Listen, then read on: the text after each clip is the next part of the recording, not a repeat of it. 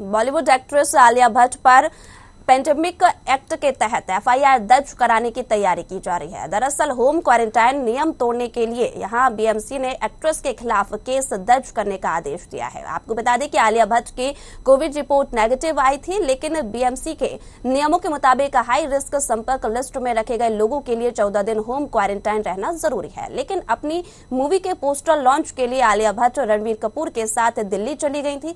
जानकारी के मुताबिक दिल्ली में एक्ट्रेस कई लोगों से मिली है। ऐसे में आलिया ने बीएमसी का नियम तोड़ा है। बीएमसी इस मामले की जाँच कर रही थी और नियम उल्लंघन की पुष्टि के बाद अब एक्ट्रेस के खिलाफ केस दर्ज करने के लिए कहा गया है।